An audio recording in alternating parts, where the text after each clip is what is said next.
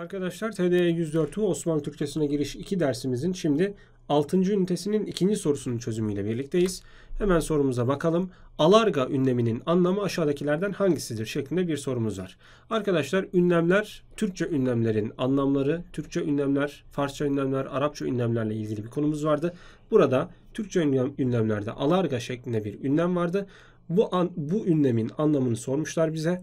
Aman, defol, emrin olur, ne yazık değil çekilin, savulun manasına gelen bir ünlemdi arkadaşlar. O yüzden doğru cevabımız Edirne seçeneğindeki çekilin, savulun ifadeleridir. Doğru cevabımız Edirne arkadaşlar.